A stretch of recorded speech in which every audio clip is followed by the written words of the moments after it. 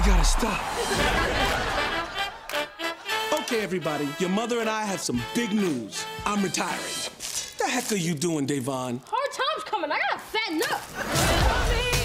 I'll be busy holding down the fort, and it's time for your mother to get hers. It's my turn to be the billionaire entrepreneur I was destined to be with the hip hop sip stop, the drink lid that keeps you from spilling your drink on a dance floor. It's all a part of my commitment to feminism and gender equality. Come to think of it, I believe they played your song Booty Slap and Booty Lover at the Women's March.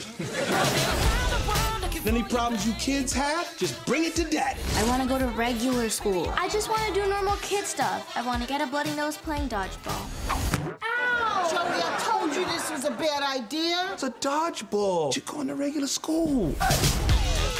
Dad, I just recorded this dope new song. Y'all like this? I love it, and I'm not a fan of Wesley. Were you saying it to somebody at your label? I'm gonna get right back at you, and um, you know, it was, it was, it was, you know,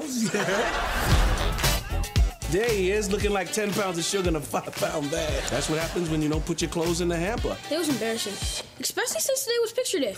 Mama's gonna kill you. Joey! Left my passport and keys in the bedroom.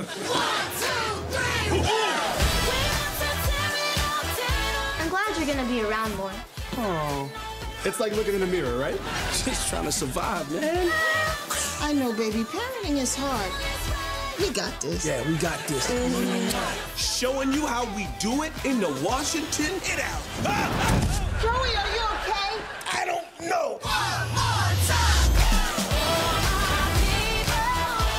hey, Dad. Nope. Can I have a? Nuh-uh. But I'm. Not gonna happen. Okay, love you. Love you too.